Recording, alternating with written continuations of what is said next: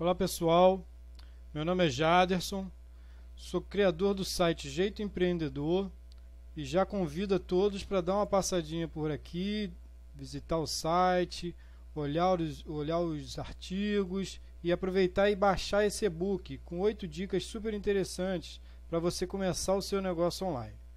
Feito o convite, vamos ao vídeo. É, hoje eu venho aqui para falar sobre uma ferramenta bastante interessante que é um programa de designer chamado Canva.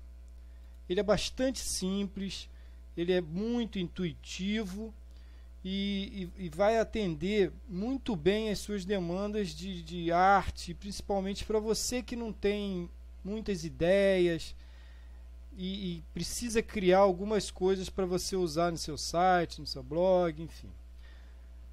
Existem três formas de você se cadastrar né, de você se registrar é, pelo Facebook, pelo Google ou pelo um, um e-mail e um login é, e uma senha, tá?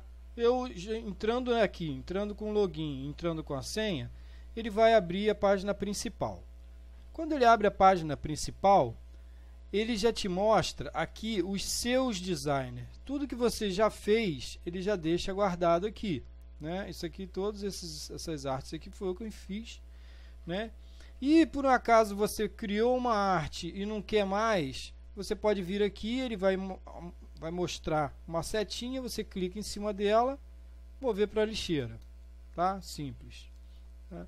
E daí, você clicando aqui no mais, você, ele vai te disponibilizar vários modelos, vários tipos, vários designers para várias utilidades. Né? Então, aqui, por exemplo, ele tem aqui sobre as redes sociais, é, sobre blogs. Aqui você pode criar um infográfico. E o mais legal é que quando você coloca em cima do, da arte que você quer, do modelo que você quer, ele, ele já te mostra as medidas, né? E tem várias, várias para capa do Facebook, para miniaturas de, do vídeo de, do YouTube, enfim, tem várias opções aqui para você. Mas mesmo se você passar com o mouse em cima de todos eles e ver que não tem uma medida que você quer, que está aqui disponibilizado uma medida padrão aqui, você tem ainda a opção de vir aqui e clicar em usar dimensões personalizadas. Você clica aqui, ele vai abrir três campos. A largura, você coloca a largura que você quer, a altura e a unidade. Né? Você pode ser em pixel, pode ser em milímetro ou pode ser em polegada. Tá? E aí clicou em criar designer, você cria o designer que você quer, né? o tamanho que você quer. Tá? Então vamos pegar aqui como exemplo esse, essa miniatura aqui para vídeo de YouTube. Eu quero fazer uma miniatura para o meu vídeo de, do YouTube e vou utilizar essa ferramenta bem legal que é o Canva. Aí eu cliquei lá, aqui já está definido o tamanho, né, que é o tamanho que o YouTube já aceita, né? E aqui do lado tem vários layouts, né? Se você observar, tem aqui um, símbolozinho de, de cifrão, esses aqui são pagos e os, os que são grátis estão escritos grátis, né? Então você pode simplesmente, ah, gostei desse, você clica em cima dele, né? Você muda com dois cliques você seleciona a palavra, escreve o que você quer, deleta o que você quer, né? Enfim, muda, muda a, a fonte, muda o tamanho, tira do, você pode deixar em negrito ou tirar do negrito, maiúsculo, minúsculo, é, posicionamento da, da, da frase, da palavra, espaçamento, copiar, copiar, e se você clica assim, se você clica no, numa numa parte do, da, da, do texto, se você clica em copiar, ele já automaticamente ele gera uma outra uma outra cópia, uma cópia do que você selecionou, tá? E, e aqui além de, de, desse, desse, desses, dessas opções, você tem também a transparência, que você pode deixar ele mais fraquinho, mais transparente ou não, e você pode também colocar um link.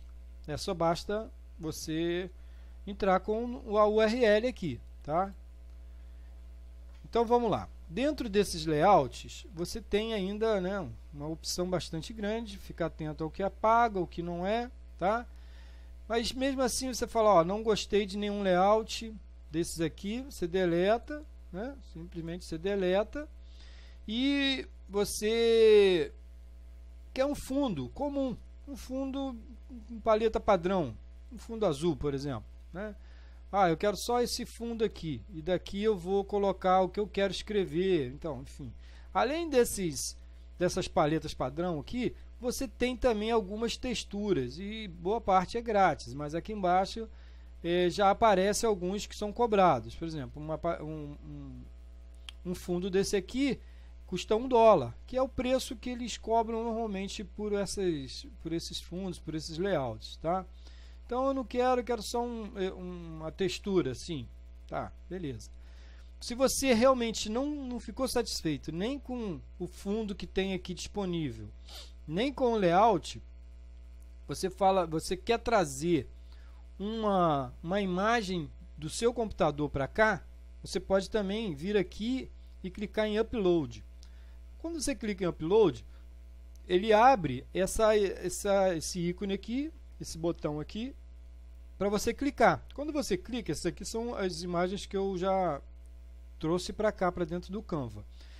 Quando você clica aqui, que, que acontece? Ele já abre o seu computador e você escolhe a, a, a, imagem que você quer e clica em abrir. Simples assim. E ele faz o upload e quando você quando fizer o upload, você clica na, na imagem e trabalha com ela. Tá? Simples. E além disso, né, você tem também os textos. Né? Você pode trabalhar com os textos. Você pode simplesmente colocar a, a, o texto aqui, escolher a, a, fonte, o tamanho, a cor, como já tinha dito. Né? Ou você pode escolher algumas, alguns modelos que estão aqui também. Tá? Além de, de só, só letras, você também tem aqui alguns, alguns modelos que te permitem também trabalhar, melhorar a sua, sua arte. Né? E não é diferente dos outros dos outros ferramentas, das outras coisas que a gente que a gente já deu uma olhadinha aqui, tá? Clicou em cima, deletou, você não quer isso, clicou em cima, deletou, não quer isso, simples assim. E aí escolhe o que, que você quer e coloca a sua escolha, né? Fica a sua escolha, tá?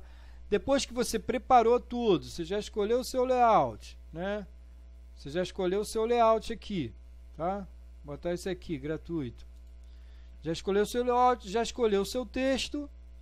Você ainda tem uma outra opção aqui, que são os elementos. Né? Aqui ainda tem algumas, algumas não, bastante imagem gratuita, todas gratuitas. Tá? Você tem também as grades, né, que você pode é, definir o seu layout de várias formas. Né? Você pode dividir o seu layout de várias formas. Os quadros também, né? Você divide de várias formas, tá? As formas também tem várias aqui disponíveis, né? quadrado, retângulo, losango, enfim, tem várias formas aqui, só descendo o cursor aqui que, ela, que elas vão aparecendo. Tem uma, um, uma área aqui só de linhas, que você também pode escolher. Né? Aqui estão as linhas, né? Tem várias, várias opções aqui também. É, e aqui tem algumas ilustrações também, que você pode incrementar a sua arte. Você pode colocar, optar por qualquer uma dessas aqui e colocar na sua arte. Tá? Uma outra opção são os ícones. Esse também, boa parte é gratuita, você pode escolher à vontade, são vários, né? E você fica sempre à disposição aí. Agora entrou um novo campo aqui que são os gráficos, tá? Esse aqui é um campo novo que apareceu há pouco tempo, que também é, você pode editar, você pode selecionar e editar, você pode mudar de cor, você pode né, é, mudar a espessura da barra, enfim, você pode trabalhar o gráfico de jeito que você achar que fique melhor.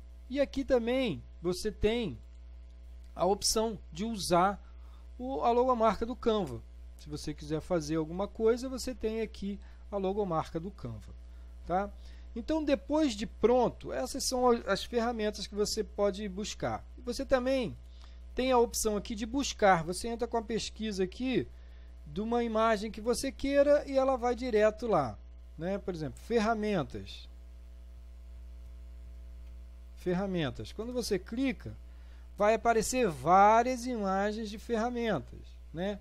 Aí, normalmente, é pago. Né? Se você observar, né, a maioria aqui é pago. Tá? Mas você ainda tem essa opção de buscar uma imagem que você queira, específica. Tá? Bom, feita a arte, você já selecionou o seu, o seu layout. É, pode ter sido daqui do, do programa, pode ter sido uma textura de fundo, pode ter sido um fundo liso, pode ter sido uma imagem que você trouxe, mas você definiu o seu, layout, o seu fundo, definiu o que você vai escrever né? colocou alguns elementos para incrementar sua arte e agora você vem aqui e clica em arquivo e salvar, tá? Clicou aqui em salvar, seu, seu, seu, sua arte já está salva.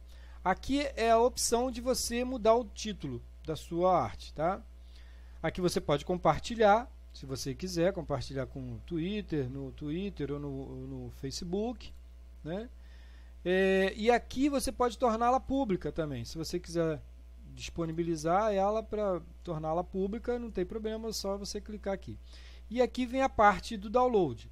Quando você fechou, finalizou, salvou, você clica em baixar e ele já te recomenda o PNG, por causa da qualidade da imagem, por causa da qualidade da arte que vai ficar melhor. Mas você tem algumas outras opções. Você tem a, a, a opção de JPEG e tem a opção de PDF. Né? Então clicou aqui, clicou no, no PNG, baixou, só levar para o seu computador e usar da melhor forma que você quiser. Tá bom? Então essa, sem dúvida, é uma ferramenta fantástica, né? gratuita e que você pode ter uma resposta bem rápida de uma arte que você precisa fazer com, com rapidez, mesmo não tendo muita muitas ideias, muita imaginação para poder, muita criatividade para poder criar boas artes, mas o programa, o Canva, ele te permite que você crie excelentes artes sem muito sem muitas ideias, né? Aqui tem uma outra opção, se você quiser mais de uma mais de uma folha, você clica aqui, ela vai abrir uma segunda opção que quando você salvar, ele vai salvar os dois, as duas artes. Tá bom? Gente, esse era o vídeo de hoje. Agradeço por terem ficado aqui até o final. É, e espero que vocês deem um like aí embaixo. O link do, do Canva vai estar tá também disponibilizado aí abaixo do vídeo, na descrição do vídeo. E muito obrigado e até a próxima.